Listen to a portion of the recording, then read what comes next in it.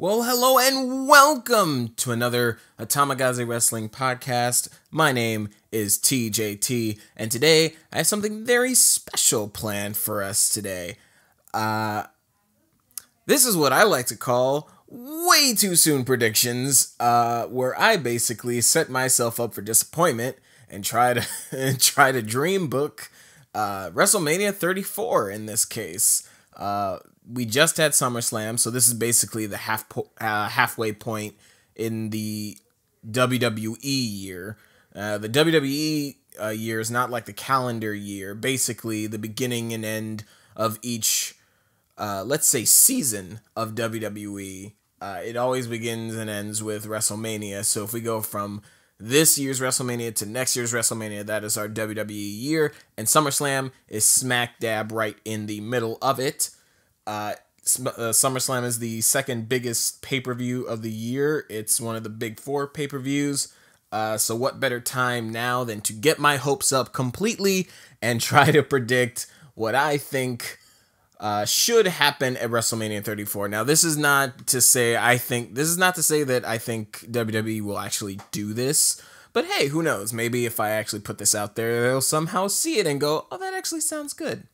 Uh, with that in mind, let's get right into it. Uh, I'll talk a little bit about each match, but I'll try not to go on and on and on.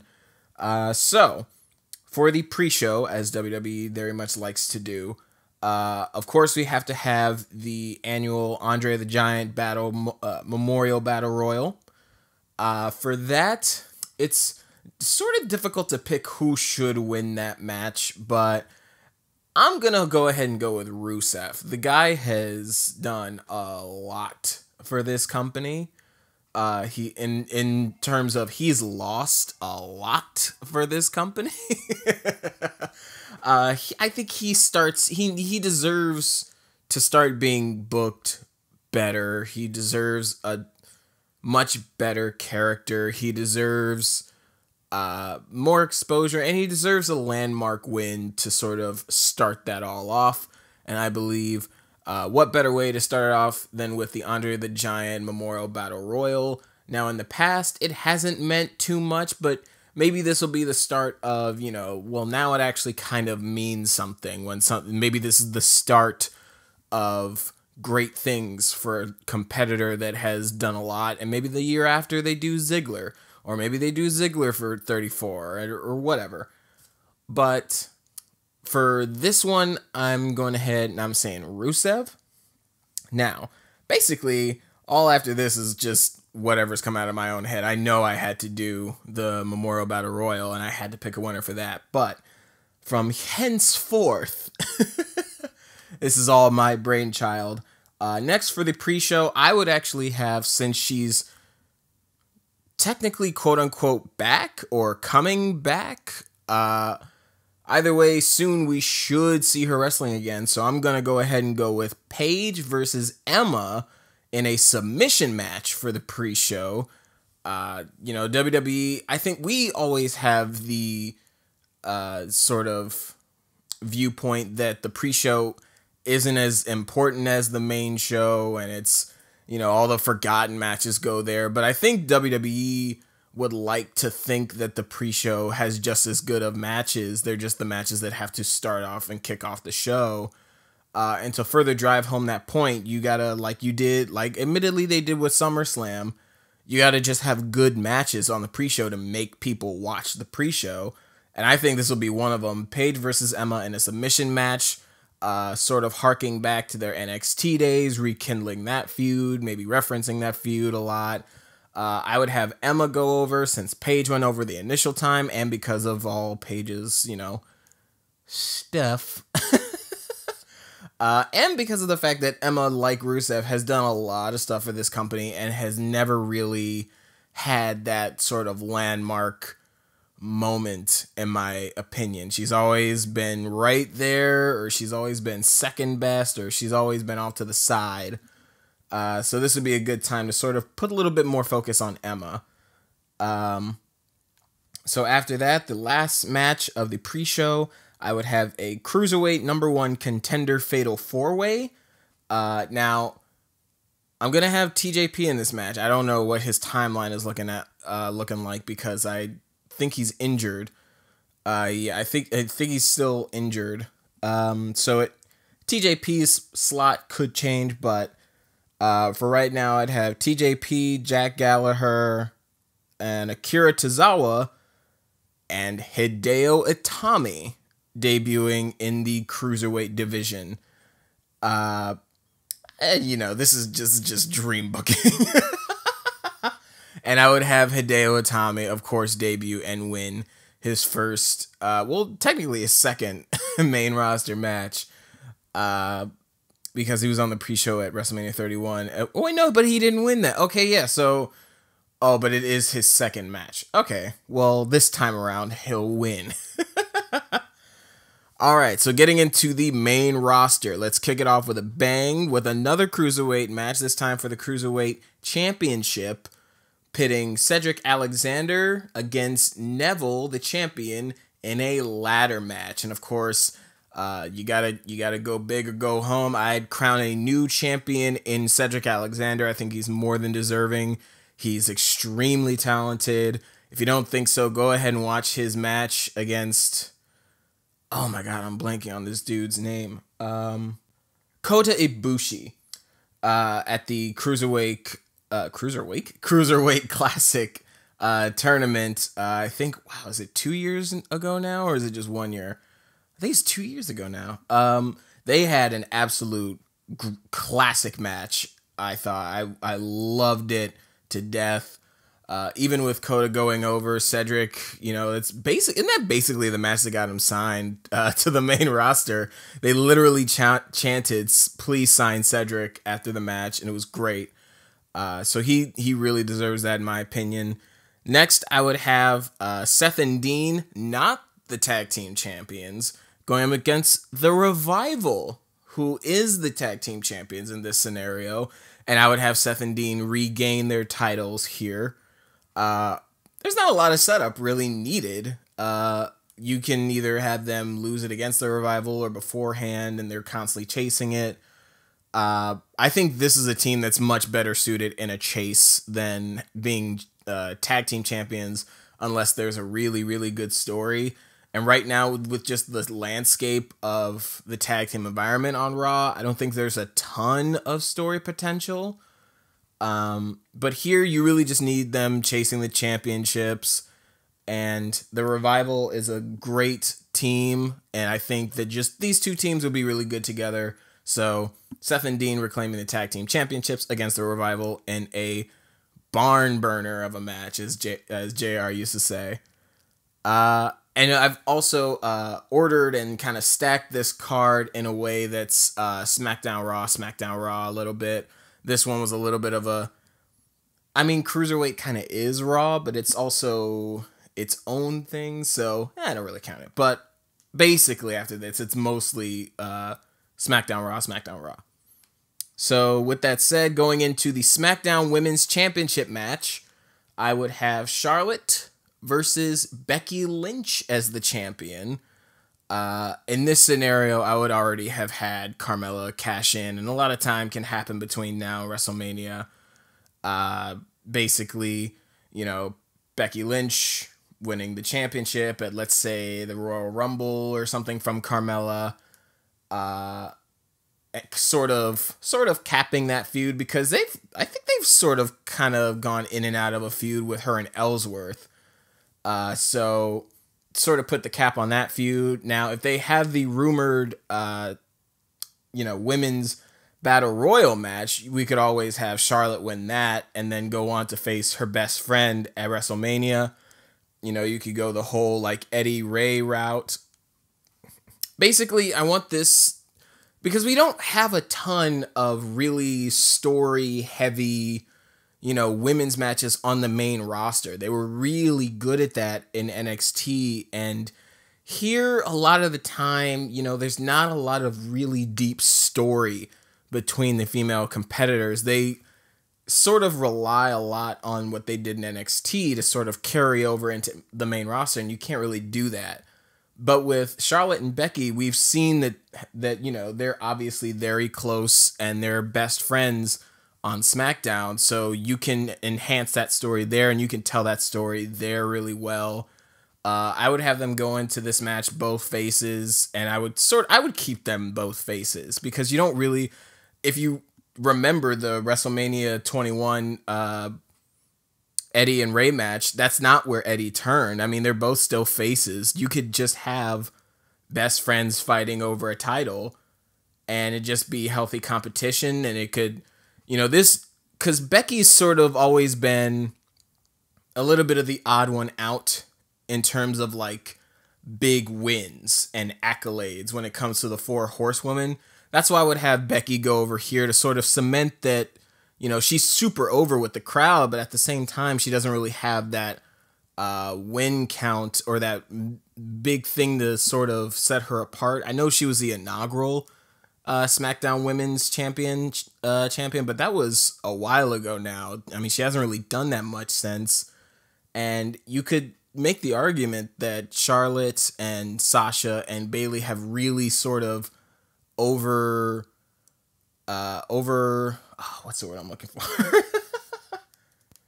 overshadowed her uh, in a way. So this is just a way to sort of you know, put a little bit of that spotlight back on Becky, put a little bit more shine on her because she really deserves it. Uh, she's a great performer. She's organ. She's a great organic baby face.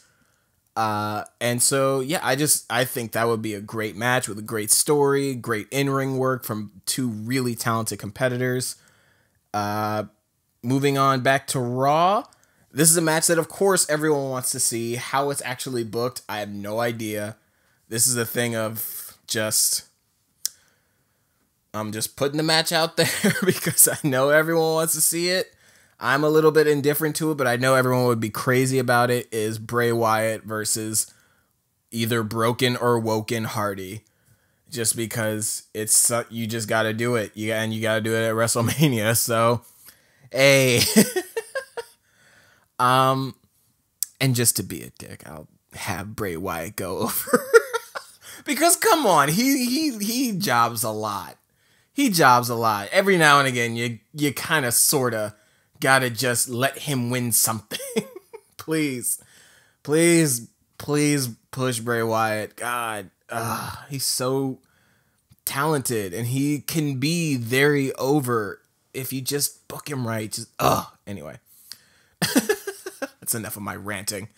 All right, so now you're gonna also notice that uh yes, every title is defended on the main card because it should be.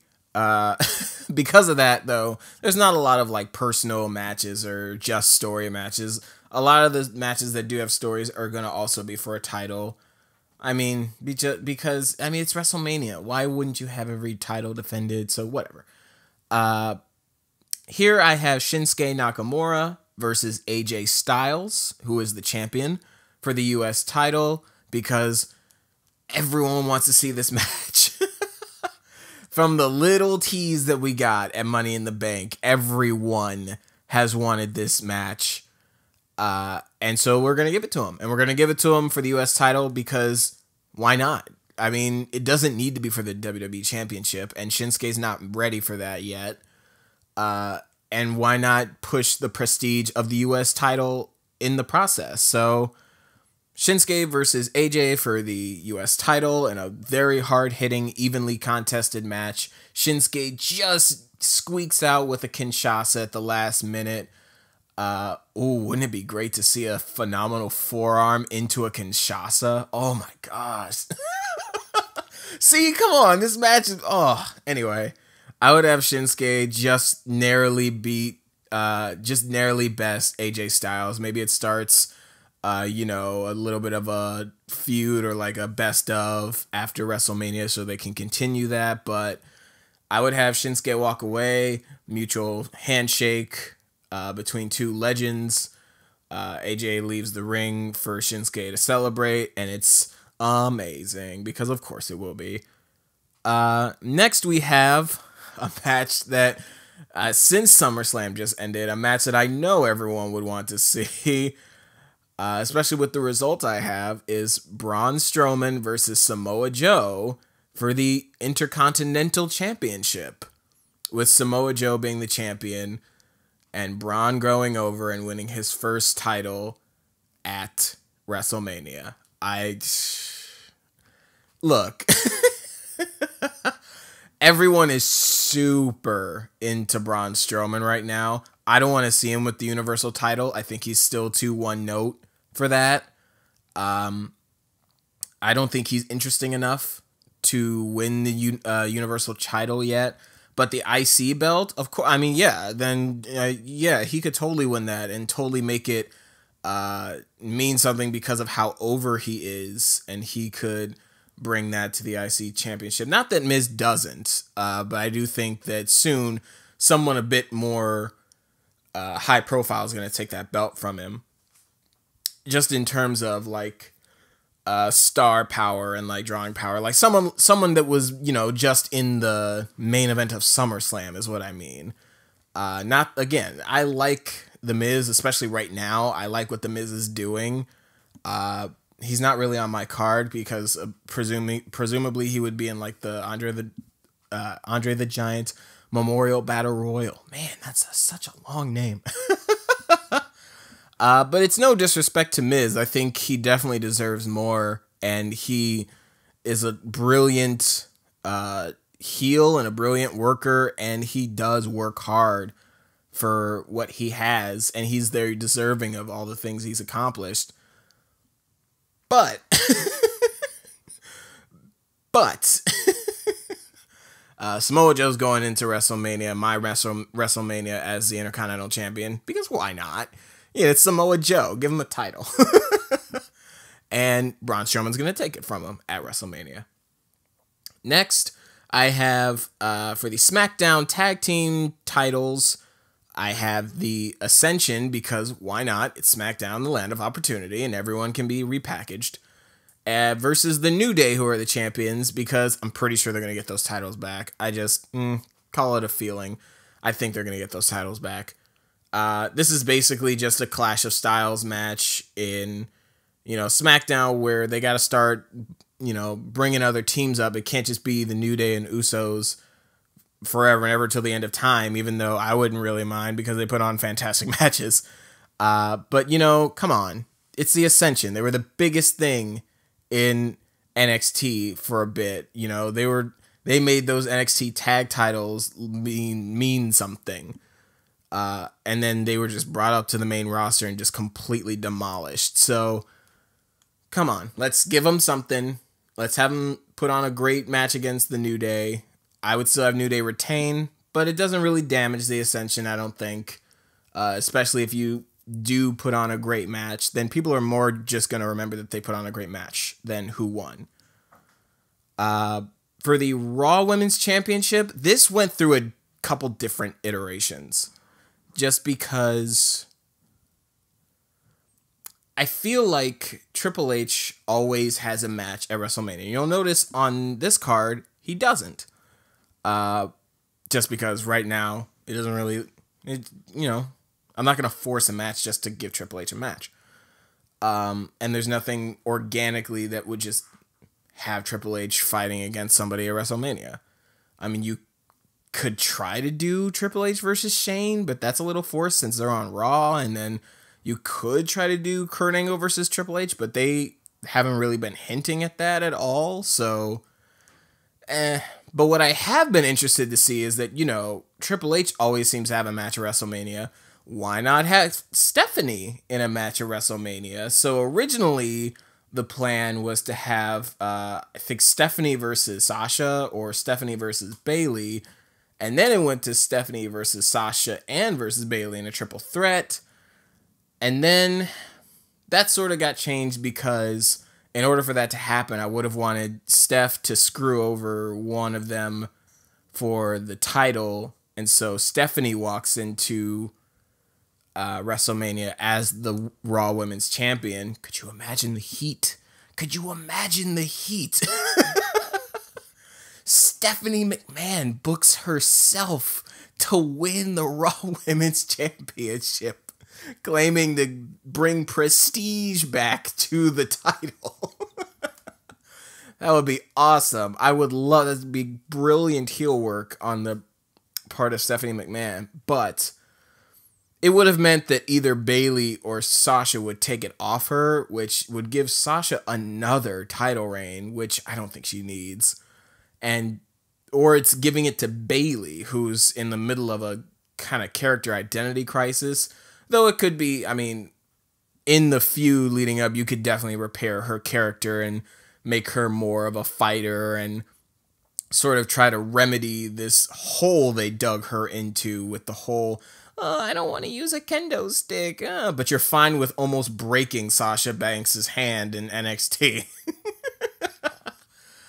um, but ultimately, what I ended up with was just basically Stephanie still being the catalyst for the match and saying that you know the the women's division isn't what it used to be. It's grown stale. The revolution has you know gone awry. Nothing's happened with it yet. I want to see more. I want to see better from my women, especially on Raw.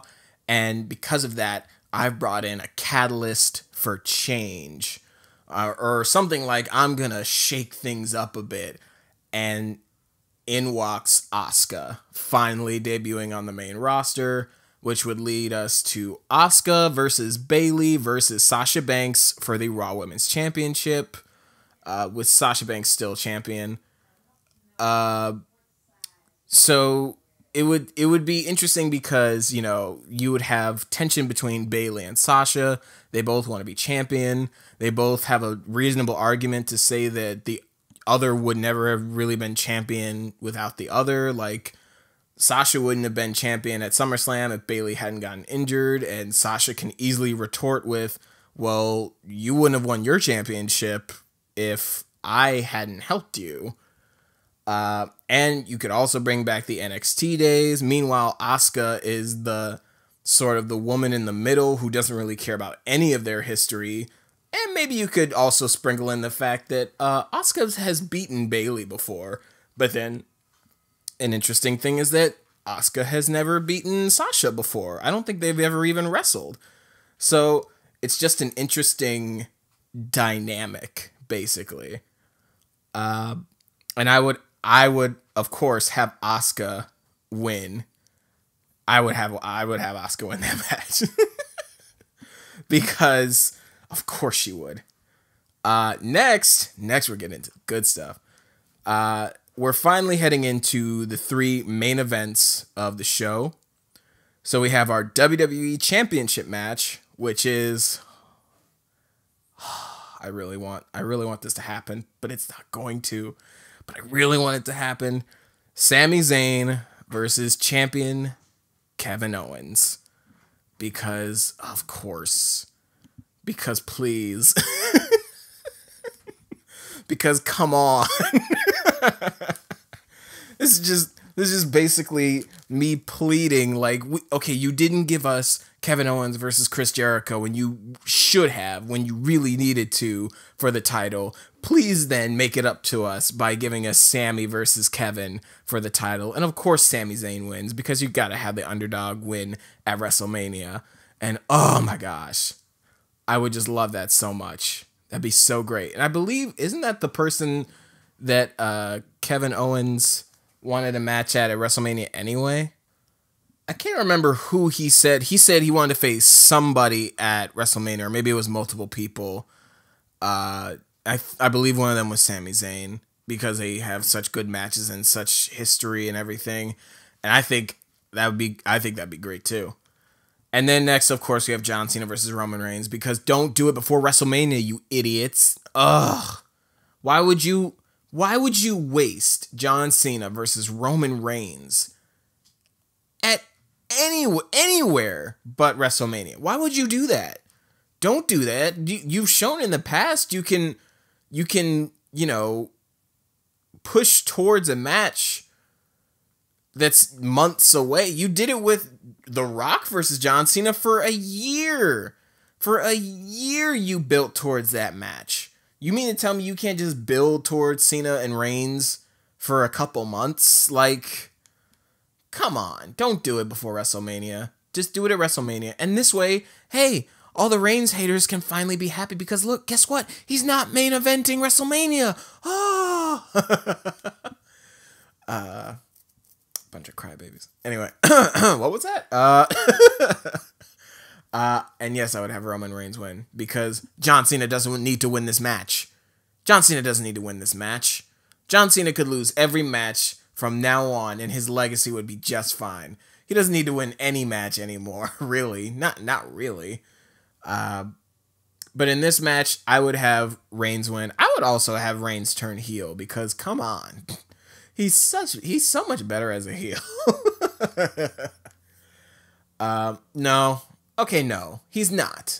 I will say this. He's not better as a heel. He can be a phenomenal face, I believe, if basically half the audience would just get their panties out of a bunch. But it is the it is what it is.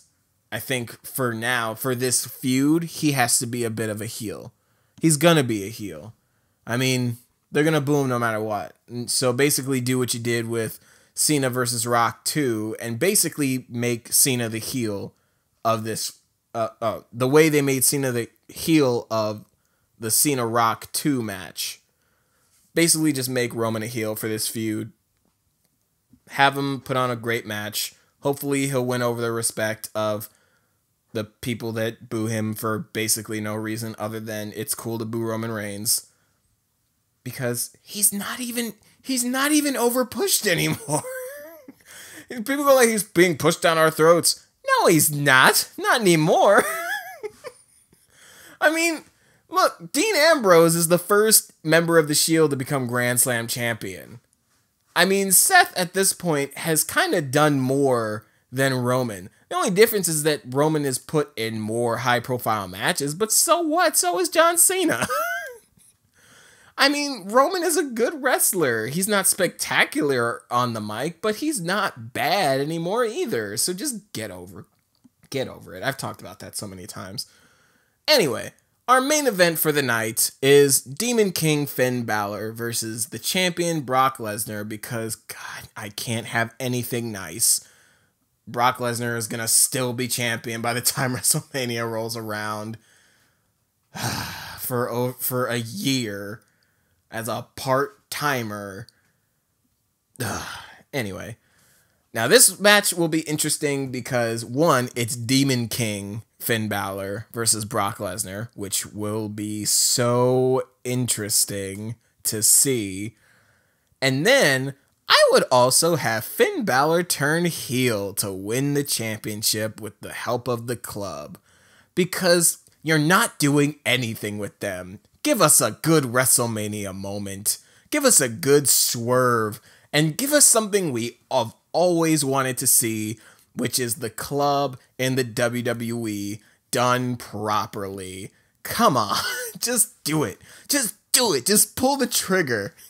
And then draft AJ over to Raw and see what happens. anyway, that's my thoughts on WrestleMania 34. Way too soon in advance. What do you guys think? Let me know in the comment section below. Uh, what did you think of my card? What would you do differently? Uh, let me know, sound off in the comments. If you like this, go ahead and like, share, and subscribe as always. And until next time, guys, I'll catch you guys later.